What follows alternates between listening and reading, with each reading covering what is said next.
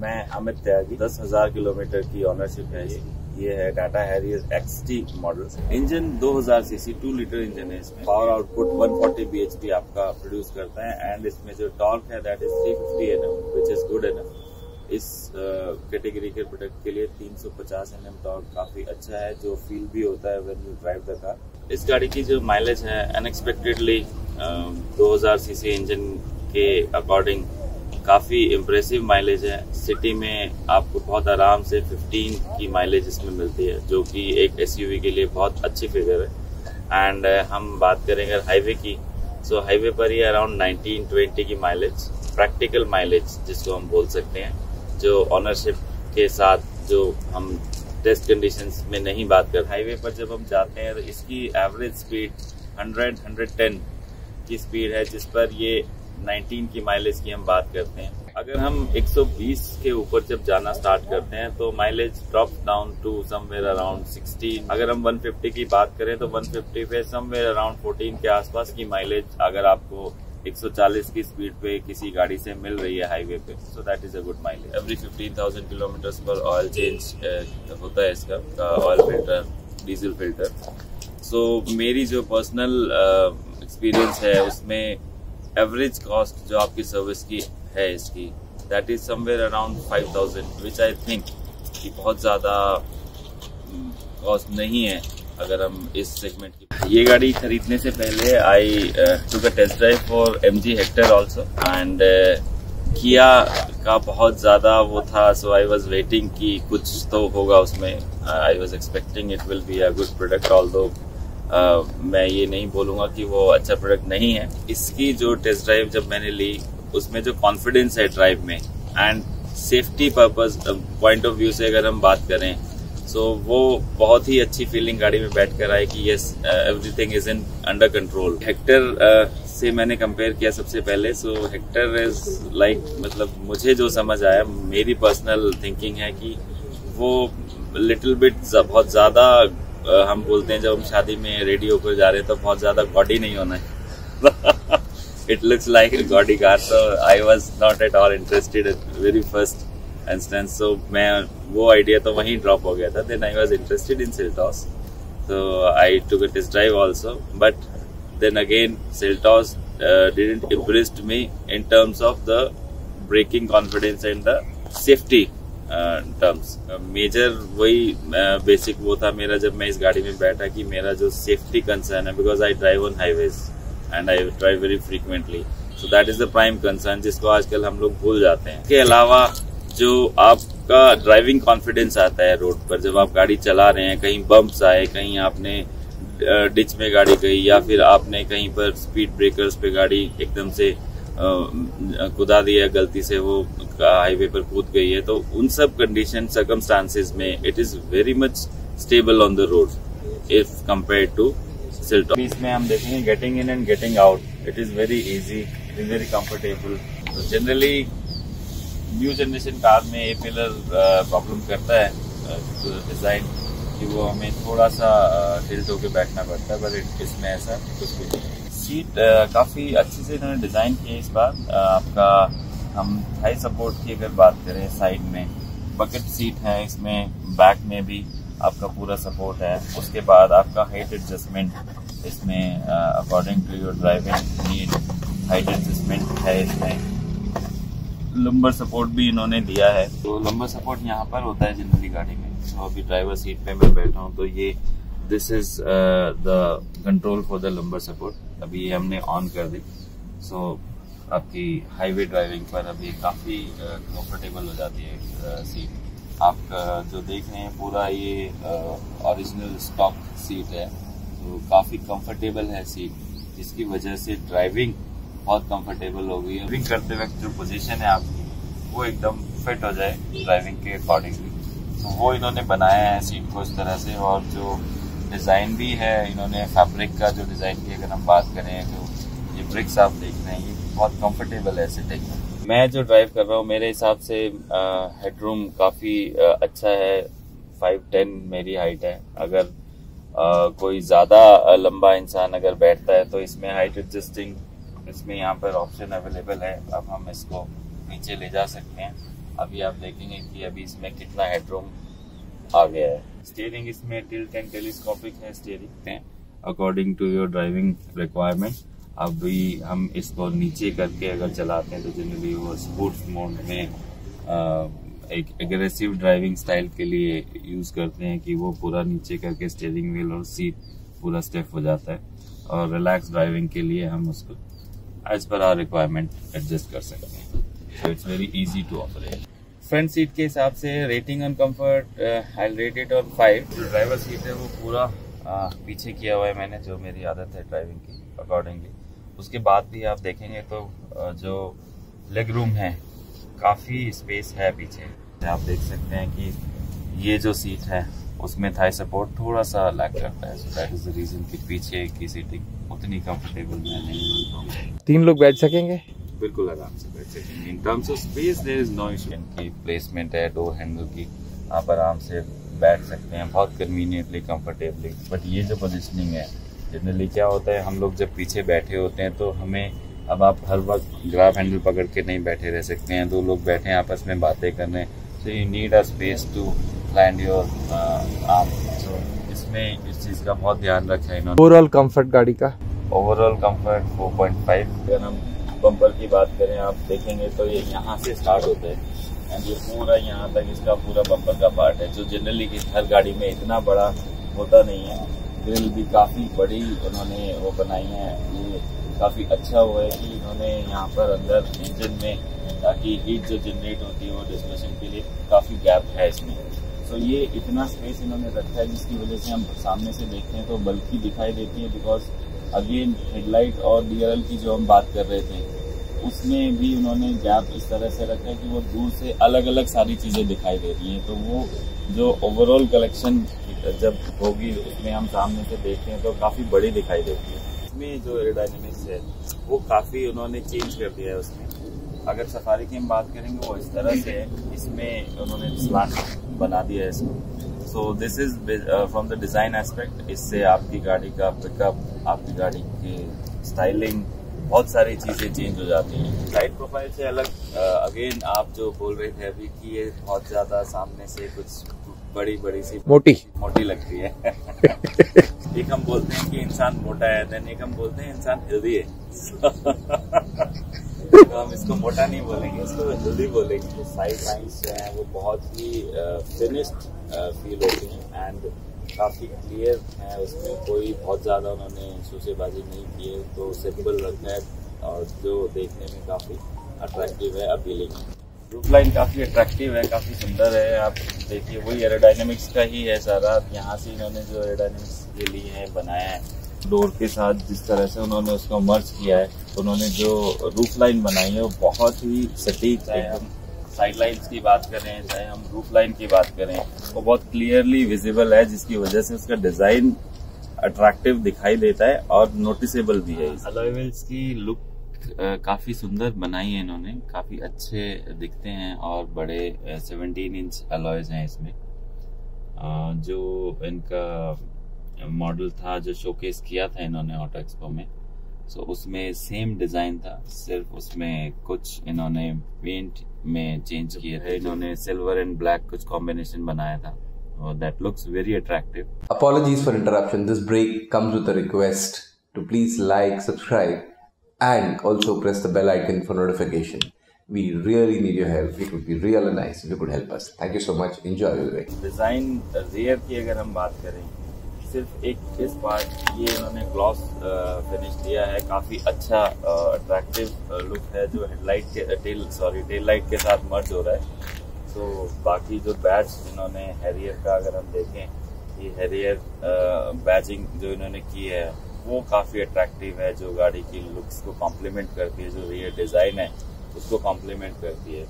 And पीछे से इन्होंने जो कर्व्स बनाए हैं, वो काफ़ी सुंदर हैं गाड़ी में, जो एज है, वो बहुत ही अट्रैक्टिव और बहुत ही स्लीक अलग से निकल कर आ रहा है जो गाड़ी की ओवरऑल डिज़ाइन है रेयर डिज़ाइन हम देखेंगे, जैसे बाहर इन्होंने ये लाइंस दिए हैं, यहाँ भी इन्होंने कर्व दिए हैं तो उसको पूरा कॉम्प्लीमेंट कर रहा है। पीछे के लुक काफ़ी सुंदर बना। ग्लॉस फिनिश इन्होंने बीच में दिया है टेल गेट पर। सो उसी का कंटिन्यू रखा है उन्होंने टेल लैंप्स में।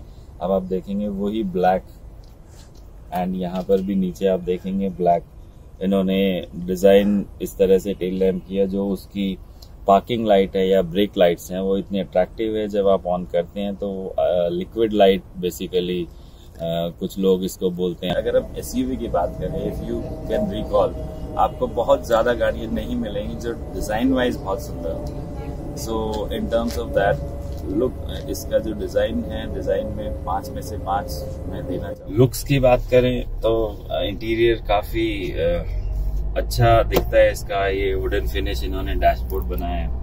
अब इसी में अगर हम फील की बात करते हैं तो आप देखिए, बड़ा प्रीमियम फील आता है। डैशबोर्ड जो है, इसका सॉफ्ट लेदर डैशबोर्ड है, जो आपके प्रीमियम कार्स में होता है जनरली तो बहुत ही अच्छा काम किया है टाटा मोटर्स ने इस बार इंटीरियर्स में आपका डोर हैंडल की बात हो या फिर आपका लॉक की बात है सारी चीज़ें हैं स्टीयरिंग व्हील काफ़ी अच्छा ग्रिपी है और लुक वाइज भी स्टीयरिंग कंट्रोल्स हैं यहाँ पर तो कोई अच्छी डिज़ाइनिंग की है इन्होंने इस बार अंदर। कुछ गाड़ियाँ हैं कि उसमें बिल्कुल एकदम अलग से रख दी है अपने ऊपर से। ये पूरा एक इंटीग्रेटेड पार्ट आपको दिखाई देगा।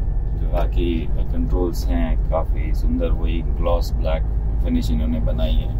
हैंड ब्रेक बड़ा स्टाइलिश है इसका हैंड ब्रेक की अगर हम बात करें। अभी तक गाड़ियों में हैंड ब्रेक एक नॉर्मल वो था। ये इस तरह से ये बहुत ही मेरे को इंटरेस्टिंग लगा कि डिज़ाइनर ने जो सोचा कि हैंड ब्रेक में भी डिज़ाइन का एक पार्ट कुछ रोल प्ले कर सकता है। आप देखिए इसका जो यूसेज है जनरली हम लोगों के लिए हैंड ब्रेक डिज़ाइन एस्पेक्ट से as a customer point of view से भी हम सोचते नहीं है।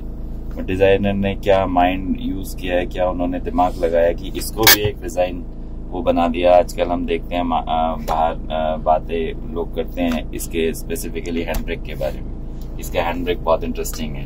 यूटिलिटी एंड डिज़ाइन दोनों का बहुत अच्छा कॉम्बिनेशन हमने किया है। तो इंटीरियर रेटिंग क्या देंगे interior rating in terms of look and feel पाँच ही दूँगा इनको तो ड्राइविंग में। वो आपको बिल्कुल भी टायर, टायर्डनेस फील नहीं होने देती है। उसका स्टीयरिंग बहुत सॉफ्ट है। बेसिकली पावर स्टीयरिंग जो है, इसका काफ़ी अच्छा इन्होंने वो बनाया है। आपका टर्निंग रेडियस की बात हो या फिर बार बार क्लच प्रेस आपको सिटी में करना पड़ता है, उसकी बात करें तो क्लच भी इसका सॉफ्ट है। As compare to the other diesel product बाद सस्पेंशन की अगर हम बात करें, भी हम जो जहाँ ड्राइव कर रहे हैं, आप देख सकते हैं सामने रफ पैचेस हैं। सो इसमें अब हम रफ पैचेस के ऊपर से गाड़ी आराम से लेकर जा रहे हैं तो अंदर आप फील कर सकते हैं कि कंफर्ट लेवल क्या है। Being a monocoque suspension is very good suspension setup बहुत अच्छा है। ओवरऑल जो सस्पेंशन है सेटअप है इसका, वो काफ़ी अच्छा है। इट्स नॉट कुशन बहुत ज़्यादा उन्होंने उसको कुशन नहीं रखा है बट वो स्टिफ नहीं है। इट्स ऑप्टिमम एक वो रखा है उन्होंने, जिसमें आपको रफ रोड प्लस आपको प्लेन हाईवेज पर दोनों पर इक्वल कंफर्ट मिले।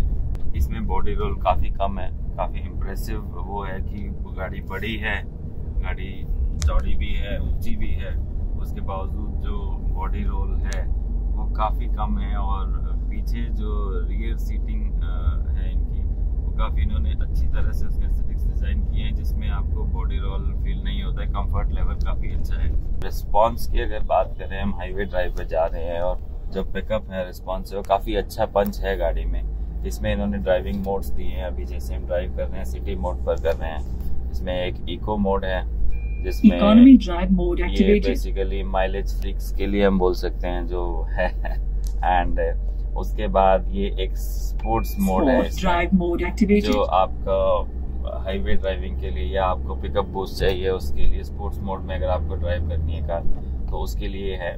और अभी हम नॉर्मल ड्राइविंग में फील कर सकते हैं। डिफरेंस जो इन्होंने दिया है, ये काफ़ी अच्छे इन्होंने फीचर्स दिए हैं जो आपकी ड्राइविंग बिहेवियर के अकॉर्डिंग गाड़ी को बना देते हैं। अब आप अगर बहुत ज़्यादा स्लो ड्राइवर हैं, माइलेज चाहिए तो उसमें आप इको मोड में चल सकते हैं। डिफ़ॉल्ट मोड सिटी होता है इसका। और अगर आपको थोड़ा सा पंच ज़्यादा चाहिए नॉर्मल से अबव एवरेज तो आप स्पोर्ट्स मोड में जा सकते हैं। इसमें नोटिसेबल डिफरेंस है। अभी हम अगर बात करें इकोनॉमी मोड में हैं हम नॉर्मल ड्राइव कर रहे हैं। अब हम अगर मोड चेंज करते हैं स्पोर्ट्स मोड तो वो एक पुश आपको फील होता है कि आपको पता चलता है कि हाँ स्पोर्ट्स मोड में there is a difference and punch गाड़ी का इतना अच्छा है कि जब आप पिकअप करते हैं सी कि वो एकदम से गाड़ी ड्रैग होती है, जो कि बहुत ही अच्छा है। जब भी आपको एग्रेसिव ड्राइविंग करनी है स्पोर्ट्स मोड में जाना है, आपको एड्रेनालिन बहुत ज़्यादा आप उसमें हैं। सो आप बहुत अच्छा इसमें एंजॉय कर सकते हैं ड्राइविंग को स्पेसिफिकली जो एग्रेसिव ड्राइविंग है। क्योंकि इसका जो इनिशियल पिकअप है, जो रिस्पॉन्स है, वो बहुत अच्छा है पंच एंड टॉप स्पीड में भी हाईवे पे भी जब आप जा रहे हैं, गाड़ी दौड़ रही है तो स्पीड जो है वो आपकी एक्सपेक्टेशन से स्लाइट बेटर आपकी जो एक्सपेक्टेशन होगी इस प्रोडक्ट से, उससे स्लाइट बेटर पिकअप करती है। सिक्स स्पीड गियर बॉक्स है। अगर आप वन थर्टी क्रॉस कर रहे हैं and then you are in six gear generally गाड़ी क्रूज कर रही होती है बिकॉज़ ओवर ड्राइव गियर है तो तो नॉर्मल आप देखेंगे सिक्स स्पीड गियर बॉक्स में। आप सिक्स गियर में 120 110 को जब क्रॉस कर रहे हैं, आप पिकअप कर रहे हैं तो गाड़ी क्रूज कर रही होती है, वो धीरे धीरे पिकअप करती है बट इसमें ऐसा आपको नहीं मिलेगा। आपको वही फिफ्थ गियर वाला पंच अगर आप देखेंगे तो फील होगा।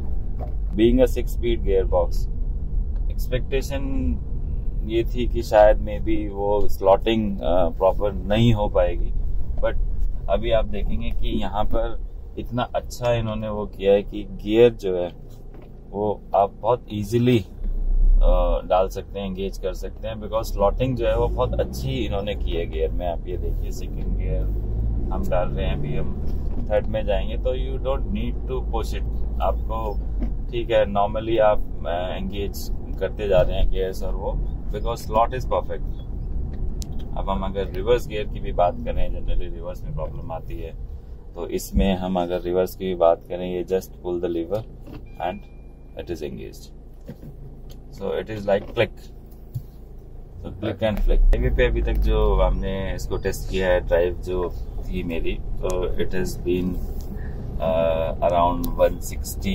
165 तो 165 तक uh, गाड़ी काफ़ी स्टेबल है। ड्राइविंग में कॉन्फिडेंस आता है। ब्रेकिंग कंट्रोल में फील होती है। टर्न्स एंड कर्व्स पे अगर हम बात करें कंट्रोल्स की बिकॉज़ ये फ्रंट व्हील ड्राइव है। सो so, गाड़ी में काफ़ी स्टेबिलिटी है। गाड़ी में जब आप ड्राइव करते हैं तो ड्राइविंग कंफर्ट और ड्राइविंग प्लेजर काफ़ी अच्छा है। अब आप देखेंगे कि अगर हम नॉर्मल 180 100 की स्पीड पर नॉर्मली जा रहे हैं so you don't feel like कि आप बहुत ज़्यादा थक गए हैं या कुछ है। ड्राइविंग बहुत ही ईजी है। है। ड्राइवर्स सीट से फ्रंट व्यू कैसा है? विंडशील्ड व्यू कैसा है? हाँ इट्स अमेजिंग जब आप पहली बार अंदर बैठते हैं जो इसका हुड है बोनेट है वो आपकी आई लेवल पे आता है सो अंदर बैठ के फील आता है कि बहुत बड़ी गाड़ी है। ए पिलर की विजिबिलिटी सिटी ड्राइव में ठीक है कोई इशू नहीं आता है बट एट टाइम्स जब आप हिल ड्राइव पे माउंटेन्स में हैं तो वहाँ पर एक ब्लाइंड स्पॉट है जब आप कर्व्स पे होते हैं। ड्राइविंग प्लेजर की रेटिंग प्लीज़ फाइव में से। ड्राइविंग प्लेजर की रेटिंग से हम 4.5 रेट कर सकते हैं ड्राइविंग प्लेजर में इसको। हाई स्पीड पर बहुत कंट्रोल ब्रेकिंग है गाड़ी की। आप कितना भी इमरजेंसी ब्रेकिंग आप स्पीड में कर रहे हैं, अभी हम आपको देख देख गया एटी की स्पीड पर अगर हम एकदम से हम ब्रेकिंग कर रहे हैं गाड़ी, ये देखिए। ये this is this is what we call call control braking this is the confidence ever you are driving on high speed गाड़ी इधर उधर भागती नहीं है। तो अभी इसमें एबीएस है, आपका ईएसपी है। जब हमारी गाड़ी हाईवे पर या हाई स्पीड पर हम बोलेंगे, अगर हम जा रहे हैं ड्राइव कर रहे हैं, कहीं बारिश है या फिर हमने पैनिक ब्रेकिंग करी तो गाड़ी जो आपकी स्किड होती है, हम उसको बोलेंगे तो वो आपके व्हील्स को कंट्रोल करता है बेसिकली जैसे एबीएस होता है, आपका वो आपकी गाड़ी को स्किड करने से रोकता है। आपकी गाड़ी जब ड्राइव कर रहे हैं आप इमरजेंसी ब्रेकिंग कर रहे हैं तो गाड़ी जनरली व्हील लॉक हो जाता है। एयर आपका एबीएस व्हील को लॉक होने से रोकता है आपका तभी उसको एंटी लॉक ब्रेकिंग सिस्टम बोलते हैं लोग। सो so, वो आपके व्हील को लॉक नहीं होने देगा स्ट्रेट आपकी गाड़ी जब जा रही है। ईएसपी आपकी गाड़ी अगर वो ड्रैग कर रही है इधर उधर वो बारिश का मौसम है आप हाई स्पीड पर हैं कहीं भी हैं। सो ईएसपी आपकी जो लाइन है यू वो आपको कोशिश करती है कि एक लाइन में रख सके।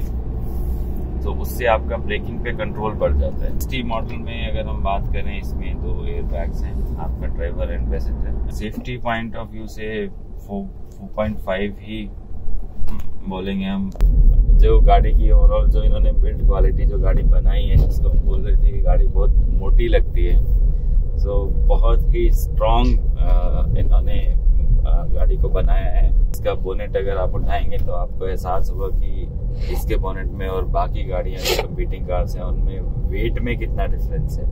सो so, ये बेसिकली जो मेटल यूज़ किया है इन्होंने या फिर प्लास्टिक यूज़ किया जो भी यूज़ किया है मटेरियल इसमें वो काफ़ी स्ट्रांग है। इसकी वजह से आपकी गाड़ी ओवरऑल सेफ़ हो जाती है। जब आप ड्राइव हाईवे पर जा रहे हैं या कुछ भी अगर मेजर कोई डैमेज एक्सीडेंट किया। गाड़ी को इतना स्ट्रॉन्ग इन्होंने बनाया है देन उसके बाद अंदर गाड़ी इतनी स्ट्रॉन्ग है, चाहे इसके अब डोर्स की बात करें, आप डोर खोलेंगे तो आपका एहसास होगा कितना डिफरेंस बड़ा डिफरेंस है कंपीटिंग कार से इसमें। आपके पैनल गैप्स हैं। उनमें अगर आप देखेंगे, पहले जो गाड़ियाँ थी, चाहे वो टाटा सफारी रही या टाटा स्टॉम रही सफारी स्टॉम उसमें और इसमें बहुत डिफरेंस है पैनल गैप्स में स्पेसिफिकली बाकी ओवरऑल फिट एंड फिनिश काफ़ी इम्प्रूवड है। अंदर आपको काफ़ी प्रीमियम फील आती है गाड़ी में। प्लस फीलिंग है गाड़ी में आपका केबिन डोर डैशबोर्ड या फिर डोर ट्रिम की हम बात करें तो काफ़ी इम्प्रूवमेंट है।